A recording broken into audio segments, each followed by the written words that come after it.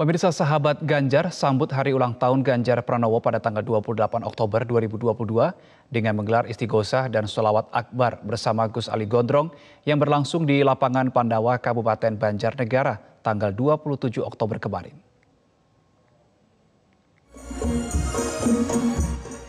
Kegiatan istighosah dan sholawat akbar di Dieng ini dibuka dengan lantunan ayat suci Al-Quran yang dibacakan oleh Ilyas Maulana Karim.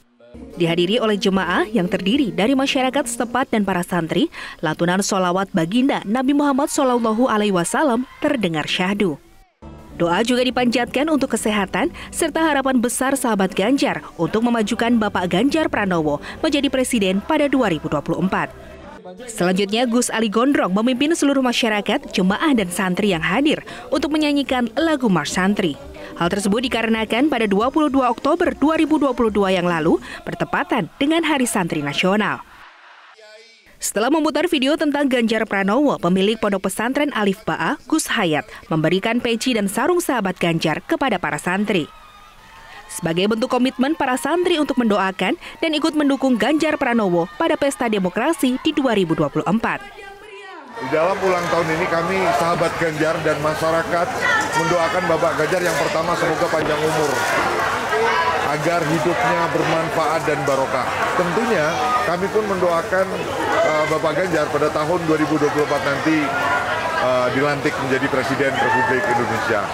Penuh harapan kami bahwa masyarakat di seluruh Indonesia dengan doa, solawat, dan istighosah ini semoga mencintai menyayangi kepada Bapak Ganjar Pranowo. Rangkaian acara pun berlanjut dengan tausiah yang dipimpin oleh Gus Ali Gondrong dengan tema Maulid Nabi dan Hari Santri yang dilanjutkan dengan istighosah dan solawat akbar.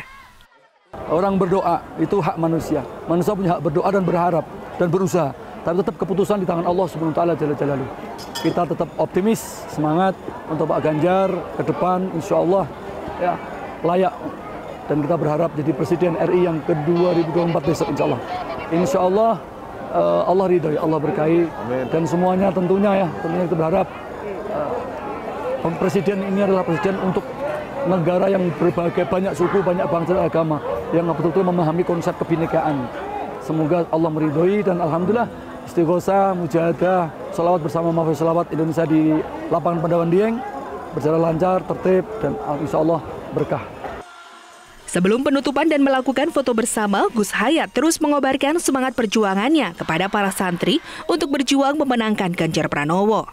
Istiqosa dan sholawat akbar ini menjadi salah satu rangkaian kegiatan sahabat Ganjar di Dieng Banjarnegara menuju acara puncak yaitu Ganjar Pranowo Festival 4 yang berlangsung pada 29 Oktober 2022.